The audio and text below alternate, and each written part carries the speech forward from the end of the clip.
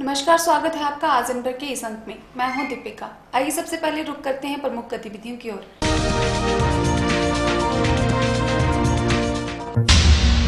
BJP प्रदेश अध्यक्ष सतपाल सती के राहुल गांधी के विवादित बयान पर कांग्रेस पार्टी ने जताया कड़ा ऐतराज। हमीरपुर के गांधी चौक पर कांग्रेस कार्यकर्ताओं ने बीजेपी प्रदेश अध्यक्ष का पुतला जलाते हुए किया धरना प्रदर्शन।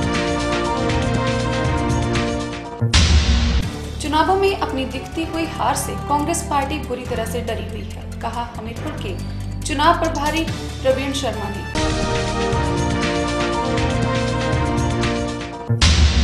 हमीरपुर गांधी चौक पर लगाई गई महात्मा गांधी प्रतिमा की सफ़ाई को लेकर जिला प्रशासन पर नगर परिषद कर रहा है अनदेखी। कांग्रेस कार्यकर्ताओं ने प्रतिमा को किया साफ़।